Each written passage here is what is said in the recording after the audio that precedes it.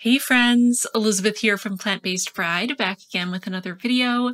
Today I'm excited to share with you all the books I finished in November, my thoughts, feelings about them, my ratings, as well as a couple goodies I got in the mail that I'm hoping to read in December. I'll start with my reading stats as always, and then get into speaking about each book individually. Of course, as always, there are chapters in this video, so if you want to skip around and pick and choose what you watch and when, feel free. Before we get into the stats though, I do want to talk to you about today's video sponsor, Ana Luisa. As you'll know, I am an Ana Luisa partner. I have worked with them for years at this point, and I am a huge, huge fan of their jewelry. I literally wear their pieces every single day, and I am incredibly grateful to work with a company that is so committed to sustainability in their production. Ana Luisa uses recycled gold in their pieces to reduce waste from gold mining, and their pieces are absolutely stunning. I'm wearing all of my newest pieces right now and I am absolutely obsessed. The necklace I'm wearing is the Taurus necklace from their Zodiac collection. I'm actually a Taurus moon, but the main reason I got Taurus instead of Leo, which is my sun and rising sign, is my last name, Turnbull, since a bull is the symbol of my Scottish family. It's part of the tale of how our family came to be. I loved this bull design for the Taurus necklace and just knew that I had to have it for my name, for my family history, but also I am a Taurus moon and I relate hard to the Taurus life. I also love my new earrings. These big statement hoops are so much fun. I don't typically wear larger hoops, but I feel like at this time of year, the holiday season, something about big gold hoops just feels so perfect. I also love this piece. It is so unique. A tiny little safety pin connected to a little cubic zirconia stud. So cute. And I love any chance to get to wear pieces that can connect through multiple of my piercings. This is the perfect time to try Ana Luisa since they're having their holiday sale and you could pick up something for yourself and something for someone you love. Maybe your best friend or a sibling or a parent. Giving the gift of sustainably made quality jewelry is the kind of gift that anyone would love. Ana Luisa crafts their jewelry in small batches to reduce waste. They also offer eco-friendly packaging with an option to opt out of as much packaging as possible at checkout checkout. The beautiful fabric pouches can be reused for a plethora of things, or just to keep your stunning Ana Luisa pieces inside. I have adored working with Ana Luisa this year, as I have in past years, and I know if you treat yourself or a loved one to Ana Luisa for the holidays, you will not regret it. Right now, until the 10th of December, Ana Luisa is having an amazing holiday sale. 15% off one piece, 20% off two pieces, and 25% off three pieces from the Ana Luisa website. Make sure to use the link in my description box or the pinned comment to shop and give the gift of sustainable jewelry this year. Thank you so much to Ana Luisa for sponsoring this video, and now let's hop into the stats.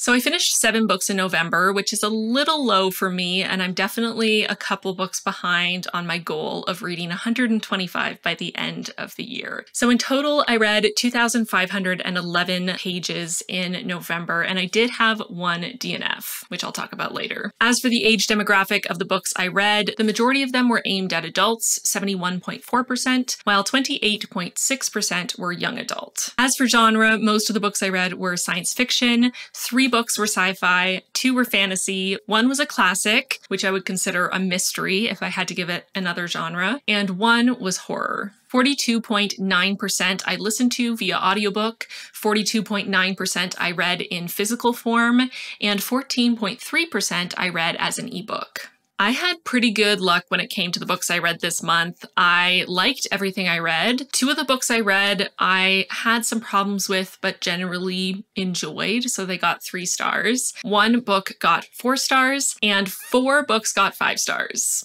57.1% had no rep, and 42.9% had LGBTQIA plus rep in some form. As for the year published, two of the books I read were published this year in 2021, two books were published in 2019, and one book was published in 2018, 2016, and 1938, respectively. As for how I got the books I read this month, 57.1% I owned, 14.3% I got from Libro FM, and 28.6% I borrowed from the library. As for the identity of the authors of the books I read this month, 42.9% were white, 14.3% were East Asian, 14.3% were Latina, and 28.6% were Indigenous. 85.7% were female, and 14.3% were multiple authors of multiple genders, including Two Spirit and non binary. As for the author's nationality, two were from Canada, my homeland, one was from Ecuador, one was from the United Kingdom, and three were from the United States. And that's it for the stats this month. Very interesting. I always love to look at this as an overview of my reading of the month. It really gives me a good idea of what I am being drawn to and how I'm doing as far as reading diversely. Now moving into talking about the books individually, starting very briefly with the DNF for the month. So as I mentioned, I did have one DNF in November, and that was The Lost Ones by Sheena Kamal. And I got to about 34% of the way through the audiobook on this one before deciding to put it aside. There wasn't anything glaringly wrong with it.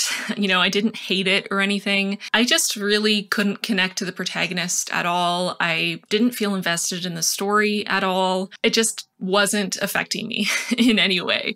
And I was really struggling to continue to listen to it. I just found I was having trouble paying attention. It wasn't capturing my interest. So I decided to put it aside and maybe at a later date I'll try it again. Now, on to the books that I did actually finish in November. So, the first book I finished in November was The Inheritance of Orquídea Divina by Zoraida Cordova. And this is a fantasy novel focused on the matriarch of this large family. She was originally from Ecuador and eventually came to the United States. And she's been married several times. She has many, many children and grandchildren. And she's sort of ruled the roost over her family for a long time. But she is reaching the end of her life and she invites as many of her living family as she can find to come see her one more time. And they discover that their grandmother has been living under a curse for almost her entire life, and they have to unravel the threads to discover what this curse is and to lift their family out from under its burden. This was a really, really touching book and so fantastical and whimsical. I loved how it focused on the importance of family, of familial relationships, and it also touched on greed and how greed is only spurred on by the accumulation of more, that you just want more and more and more, that that greed is never quenched. It's also focused on identity and growth and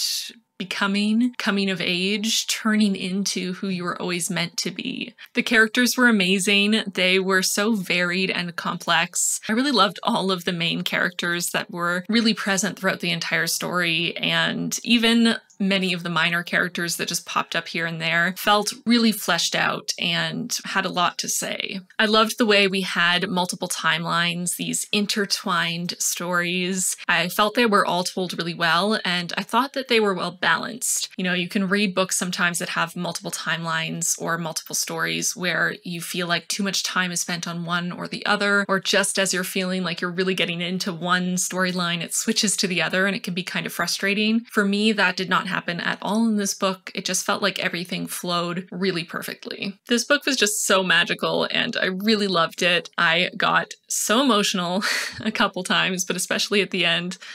It was just beautiful. So if you haven't read this one, please do. You're missing out. The next book I finished in November was Empire of Wild by Cherie Dimaline, and this is a story based on the Métis legend of the Rougarou, which is essentially a descendant of various myths of wolfmen or werewolves. The Rougarou stalks the night, attacking or transforming people who have sinned in one way or another. There were definitely many moments full of tension in this novel, some really spooky moments, and I really loved loved the characters, especially our protagonist and her nephew Zeus. They were amazing. I loved them. And this was another book that had amazing characters and really focused on those familial relationships. Just beautiful, complex connections between people and the kind of characters that jump off the page and just feel incredibly real. It was definitely scary at times. I definitely got spooked listening to this audiobook more than once, and I really loved to read a story that was set in Canada. While the story on its surface is a werewolf story, a spooky story, it does really explore much deeper issues, including racism and colonialism, and the role that religion and Christianity specifically has played in the oppression of Indigenous people in Canada and around the world. This is a super fast paced story that you won't be able to put down with incredibly vivid characters in Joan and Zeus, especially. And I loved the ending that was left open for interpretation. If you're looking for something that is spooky but has something deeper to say and characters that you can really, really root for, I would highly recommend Empire of Wild.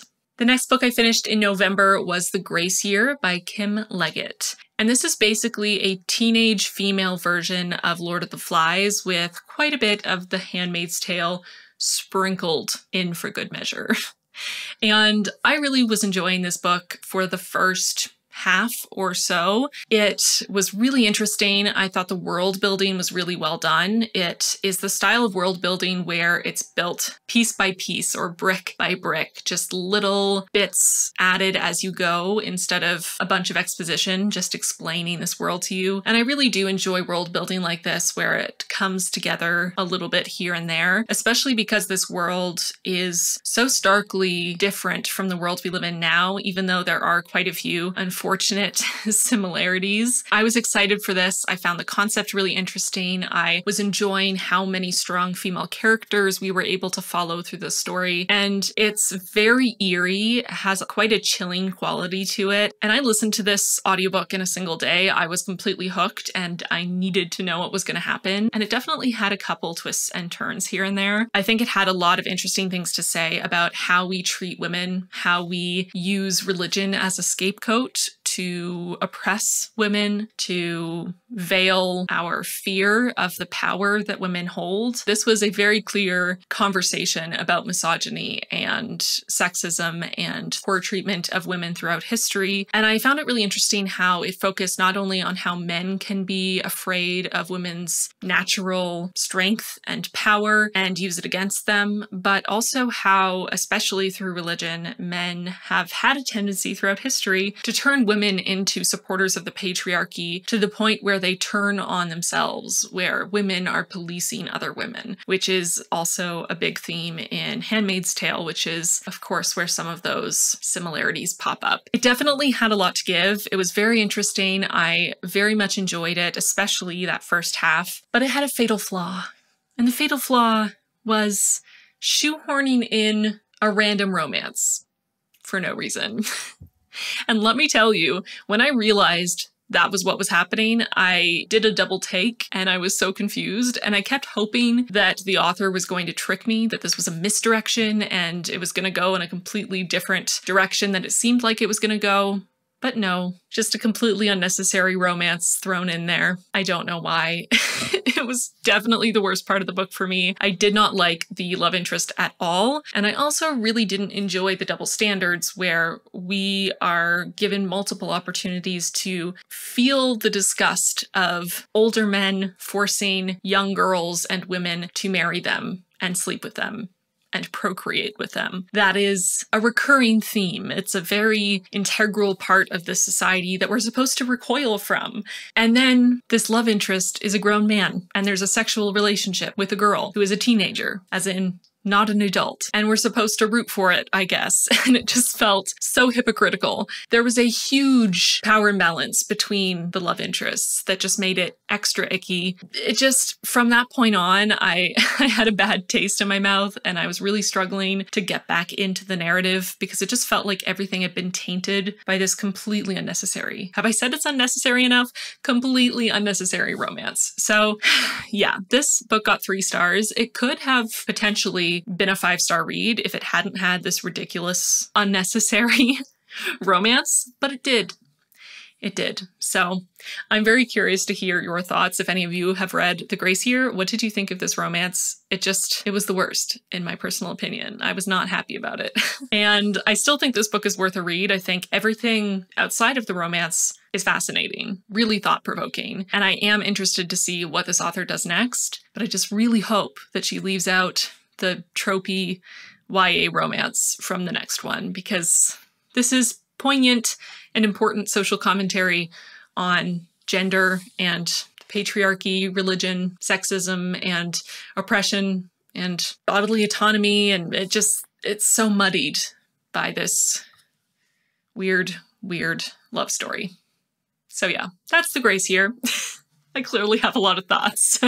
okay, moving on. So the next book I finished in November was Rebecca by Daphne du Maurier. And this is a classic. This was written in 1938 or published in 1938 initially. And I would classify it as a mystery, literary mystery, I suppose. It is gothic fiction and it has all of those delicious gothic vibes, very creepy manor on the edge of the sea, servants who are acting really sketchy, an older widower who marries a young woman and brings her to his remote estate. And I loved this. I mean, I expected to like it. I had heard good things about Rebecca. I had been wanting to read it for a very long time, and I was pretty sure it would be up my alley, but I thought it was amazing. I mean, a lot of classics, even classics I really like, can sometimes be a little bit slower paced than we're used to from reading modern modern fiction. Sometimes things can feel a little drawn out, sometimes sections can feel boring. I feel like nothing in this book was boring. Every single page was full of tension and intrigue and eeriness. The main character, our protagonist, is unnamed throughout the novel, and she is so relatable.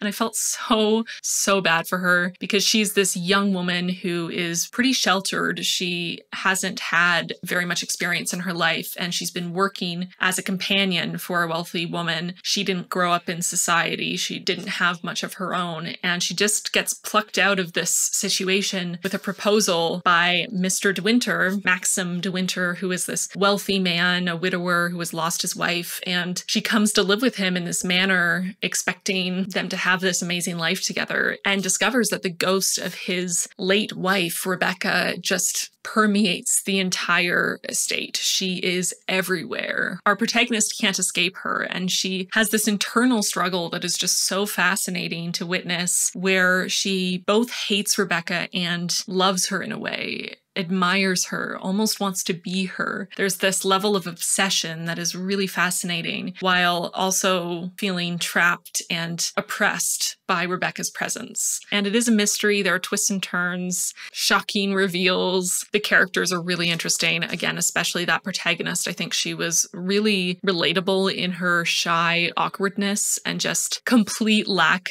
of ability to fit into Rebecca's shoes, although she was so earnest in her attempts to. This was a really, really great book. Can you tell that I liked it? Five stars for sure, a new favorite. Everything that I want out of a gothic novel, out of something spooky, but also something that has emotional weight and beautiful descriptions. The descriptions of Manderley itself, of the gardens, of the forest, of the sea were just stunning. It's really good. I would highly recommend it. I'm definitely going to be rereading this many times throughout my life, I'm sure. I can't believe I put this off so long, but I'm glad that I finally read it because, damn, Daphne du Maurier, knocking it out of the park back in 1938. the next book I finished in November was The Calculating Stars by Mary Robinette Kowal. And this is the first book in a sci fi series about lady astronauts, beginning in 1952 when a meteorite impacts Earth and changes the direction of history. This was our book club selection for this past month. And I finished this book a couple days ago, and I'm still sort of working through my thoughts on this. I think it will help a lot once we've had our book club discussion and I can chat with the other members of the book club about how we felt because I, I feel so conflicted. I gave it three stars. I think there were a lot of good parts to the book, there were a lot of interesting moments, but I think it very much felt like the first book in a series in that way that unfortunately some first installments of series can, feeling like they're just setting up the series, that the book doesn't do much on its own, doesn't really have much of a complete arc, doesn't really grip you as a standalone. It's just here are several hundred pages to get you on track so that book two can really take you off on an adventure. And that's definitely what this felt like. I found myself struggling with the pacing. I felt it was pretty slow not a lot happened, and we covered a lot of ground, but it just felt like treading water. There was a lot of repetition, quite a few discussions and moments and struggles that just happened over and over and over again, and it didn't feel like there was much progression there, much growth. It just was the same problems repeatedly, which can be pretty frustrating to read. And sadly, I didn't really connect to the protagonist either. I found her kind of insufferable, which is unfortunate because she does suffer from a panic disorder. She is struggling with anxiety, which I can relate to. I've struggled with anxiety throughout my life. I've struggled with having panic attacks. And at first, I was really excited to read a character like me in that way but I just couldn't connect to her. Felt like she was actively in her own way, in every possible way, every moment of every day. and it was really, really frustrating because it's one of those things where I can relate to that, especially with anxiety. It's one of those things where sometimes you can't help but do the thing that is the worst thing you could possibly do for your anxiety in a particular moment and you don't really have a choice. But it was just frustrating to watch her constantly make those same mistakes and constantly put herself in situations that would trigger a panic attack and not take any of the help offered, not help herself. I have complex feelings about it, clearly. um, I am curious if any of you have read this book or the series. I don't know how many books have already been released. I know the second one is out already. I don't know if there are more, um, but I'd be curious to know if you've read this first book in the series or multiple books in the series, what your thoughts are on the main character and the series in general, because I just feel a little bit let down, I guess. There wasn't enough to get me excited about this as a series in general. And, you know, the end of this book is supposed to be this really triumphant moment for our main character, and I just didn't really feel anything I also really found the way that she and her husband were written together super cringy and uncomfortable. I don't have any problem with reading sex in books, and there was nothing explicit here, but just the dialogue, the way that they got into their sexy times throughout this book were just so awkward and cringy and very uncomfortable to read, and also just came up so often. It felt like almost the only interaction we saw between the protagonist and her husband, other than him reminding her about prime numbers and giving her equations to do, was them massaging each other or really weird, awkward, dirty talk to lead into sex. And I was just like, I. I don't need this. I'm fine. I'm really fine. So, yeah, three stars. Three stars, I know. I don't think I've said much positive here. I really enjoyed the discussion of the planes. I enjoyed the discussion of the struggles that the women were facing being taken seriously as anything other than wives or eye candy, um, struggling to be taken seriously even with PhDs and as experienced pilots. I wish we'd explored more of that without it feeling like one note that was repeated over and over again. There was some interesting inclusion of anti Semitism and racism and how those discriminations tied in with the sexism to cause a lot of the women to be overlooked for advancement within this space program. And I thought that there was potential there, and maybe that is explored further in later books of the series. I'm not sure, but it just fell flat for me. Actually, the stakes as well, one more thing, not quite done. The stakes felt very low, even though the stakes are literally the survival of the human race, which was kind of strange. But anyway, so that was the calculating stars. I feel many feelings, clearly, and uh, I'll continue processing. I'll write my Goodreads review after our book club discussion, and if you're curious to hear if my thoughts have changed, then you can check me out on Goodreads. The next book I finished in November was Six Crimson Cranes by Elizabeth Lim. And I must admit, I mostly bought this book because it is one of the most beautiful covers I've ever seen. I mean, look at it. I saw it in someone's TikTok and I immediately had to find this particular cover. The other cover is also beautiful, but the colors of this one, I just, oh my God. So I waited like two months for it to come from the UK so I could have it because I have a problem. But you know what? I'm glad I did because this book really, really surpassed my expectations. I hoped I would like it. I hoped it would at least be a three star read to make up for the effort I went through to get this beautiful book in my hands. But it was a five star read and it was amazing. And I'm going to tell you why. this is the story of Shiori, who is the princess of Kiata, and she has a magic that she has had to hide. Her stepmother has her own dark magic and curses Shiori and her six brothers. Shiori is banished and transformed so no one will recognize her, and her six brothers are turned into cranes, only able to return to their human form at night. Shiori is also unable to speak. With every word spoken, one of her brothers will die. Shiori is lost and alone, and she must find that power deep inside and harness it to save not only herself and her brothers, but her entire kingdom. And at the beginning of this book, I wasn't really sure how I was going to feel about it. It's definitely written for a slightly younger audience. It's YA, but I would say it kind of comes across as a younger YA, almost approaching middle grade. So the tone at the beginning, I was struggling with a little bit as a definitely not young adult. And I was a bit worried that it would kind of fall flat for me because of that disconnect between the intended audience and myself. But about halfway through, things shifted pretty significantly. I started really falling in love with Shiori as a character as well as Kiki. Well, I don't want to give it away, but Kiki is the best character in this book by far. And I freaking love Kiki forever. I wish Kiki were real and were my best friend. But anyway, um, Shiori really grew on me. She really came into her own. And and was sassy and resourceful and awesome. And there were also several other characters that were really well developed and really interesting to encounter throughout the book. I also, I guess there's a bit of a theme here with the books I read in November. I hadn't realized until talking about them all now, but one of my favorite parts of this book was the theme of family. Not only her connection to her six brothers and that drive to save them, but also her connection with her stepmother, with her birth mother, and with her father. This family family connection, the importance of those familial relationships was very clear in this book and really touching. I definitely sobbed like a little baby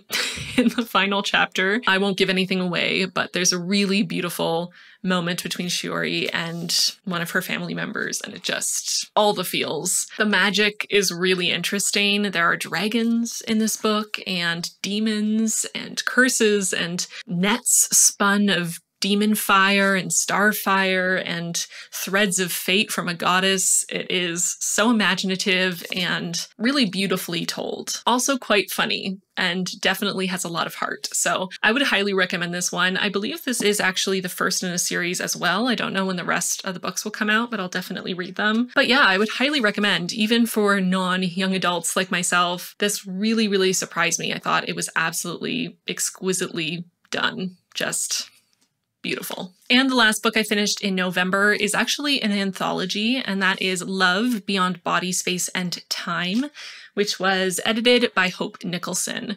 And this is an Indigenous LGBT sci fi anthology. So, this is an anthology of sci fi stories, short stories written by Indigenous authors, most of whom are within the LGBTQIA plus community themselves and focused on characters who fall within the community. There is a lot of varied LGBTQIA plus representation in this book, characters who identify in so many different ways and the stories themselves are very varied in tone and content. I don't think I've ever read an anthology where I've given it five stars just because it tends to be hit and miss. I'll adore some stories and some will kind of fall flat for me. And that was the case here as well. There were some stories that I was just completely in love with and blew me away. There were some stories that I enjoyed but weren't as impactful for me personally. So I felt four stars was a good rating for this collection. I was really excited to read this because I love sci fi. It's my favorite genre, but sci fi can be very white and very straight and often very male.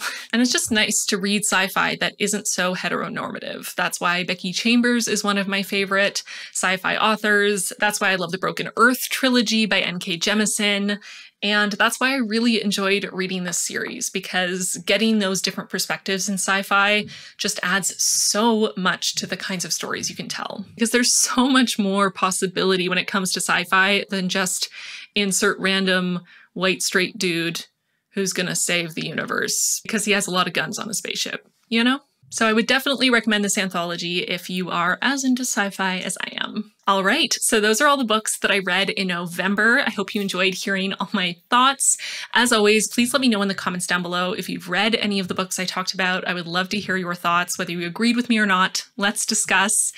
And of course, if you have any recommendations for me, leave them down below. I am always looking for more recommendations, even though my TBR is way too long.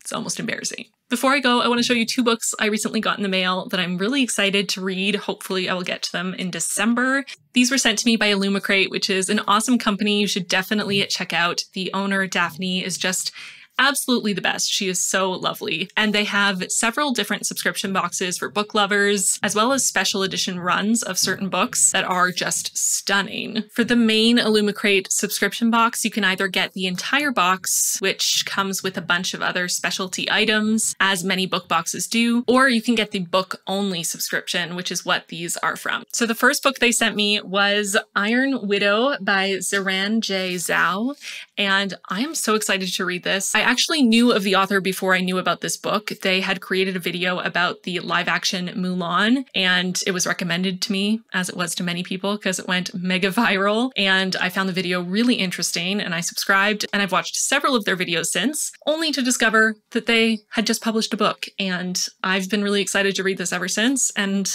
it was serendipity that Illumicrate decided to send me the book to read. I'm very excited. So this is Iron Widow. I will read the inside of the book jacket for you. You've been living a dream for long enough. Welcome to your nightmare. The boys of Huaxia dream of the celebrity status that comes with piloting chrysalises, giant transforming robots that battle the aliens beyond the Great Wall. Their female co-pilots are expected to serve as concubines and sacrifice their lives. When 18-year-old Zetian offers herself up as a concubine pilot, her plan is to assassinate the ace male pilot responsible for her sister's death. But on miraculously emerging from the cockpit unscathed after her first battle, she's declared an Iron Widow, the most feared pilot of all. Now that Zetian has had a taste of power, she sets her sights on bigger things. The time has come to stop more girls from being sacrificed. The Handmaid's Tale meets Pacific Rim in this dazzling blend of Chinese history and mecha science fiction. Sounds badass. I am so excited to read this. And this edition is so beautiful. Obviously, the book jacket is beautiful, but can we just look at the edges for a second? I'm sorry. Wow. So the book itself inside is black, and then the inside of the book jacket has art as well. Also, I love this. The author had mentioned that they'd promised a friend that if they ever published a book, they would pose for their author photo in a cow onesie, and I have the same cow onesie, so I feel like we're connected. and it also comes with an exclusive enamel pin that was designed to fit the book. And I do have one more book from Illumicrate that they sent me. It actually came in the mail this morning, so it was perfect timing to share in this video. This one also came with its own exclusive enamel pin and came with a little card, which I will read later. I really like the art on the front though, it's very cool. And then it came in this little cute bag. Ooh, Little Thieves by Margaret Owen. This is a really cool cover on the book jacket. And the pages themselves are red, this beautiful black design. Once upon a time, there was a beautiful, kind princess and her wicked maid. One day, the wicked maid stole the princess's face, and with it her name, her betrothed, everything. The princess had to toil away as a servant, while her maid lived like a queen. When the maid was caught, she died for her crimes, and the princess lived happily ever after, or that is how the story has been told. Now it's time for the wicked maid to tell her side of the story. Interesting. I don't think I've heard of this book actually. Oh, and it was signed by the author, a little signed sticker that you can put in your own book. That's adorable. Also, the signature is super cute. Ooh, I'm so excited for both of these. So these are the two books sent to me by Illumicrate. They are beautiful editions. I have such a soft spot for beautiful hardcovers, especially with fancy pages. They just look so nice. Anyways, thank you so much to Daphne from Illumicrate for sending these my way. I am very excited to read them, and you should definitely check out Illumicrate if you're looking for a book subscription box, whether you're looking for the full box that comes with all the extra little goodies or just the book and the pin. So super exciting. Definitely go check out Illumicrate. They have some absolutely gorgeous gorgeous editions. I may or may not have the Madeline Miller set of Circe and the Song of Achilles coming my way, and you can bet I am so freaking excited for it. It is so beautiful. And that is it for this video. As for my plans for December, I'm going to try to read a bunch of the books that I've been meaning to read for several months and have been behind on. I'm just going to try to read as much as possible basically. I'm hoping to hit my 125 books in the year goal. We shall see. But I'm also going to try to just have fun and read books I'm excited about because that's the joy of reading, right? Thank you so much for joining me today. I hope you enjoyed this video. Don't forget, Ana Luisa is having an amazing sale until December 10th. 15% off one piece, 20% off two pieces, and 25% off three pieces. Perfect for holiday gifting. Use the link in the description box or in the pinned comment to shop the Ana Luisa holiday sale now. Thank you so much to Ana Luisa for sponsoring this video. Thank you so much to my patrons for your support. Extra special thanks to our newest patrons, C Bus to Move, Jess, and Banana. Welcome all of you to the squad. We are so excited to have you. And with that, I'm going to get going. Thank you so much for watching this video, and I'll see you really soon in my next one. Bye, friends.